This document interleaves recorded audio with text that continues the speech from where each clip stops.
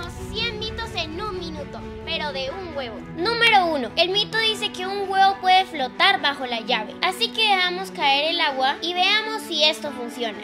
El mito es falso. El segundo mito dice que es posible romper un huevo con una mano. Y para eso traje a la madre del huevo. Pero yo no quiero apestarlo. Si no lo haces, serás mi cena. Y como podemos ver, el mito es... No se puede. El mito es falso. Me robé al perrito de mi vecina. El mito dice que si le das un huevo lo puede cuidar. El mito es verdadero. Y para mi último truco, asalté la cocina y conseguí estas cajas. Es momento de poner a prueba si me puedo parar encima de estos huevos sin romperlos. Con ayuda de mi amigo, me subí a ellos con mucho cuidado. Y como podrán ver, el mito es verdadero. Quiero seguir cazando mitos, pero esta vez con un experto en huevos. Él es mi amigo el borrego. Y si todos se suscriben, el borrego y yo cazaremos más mitos en un minuto.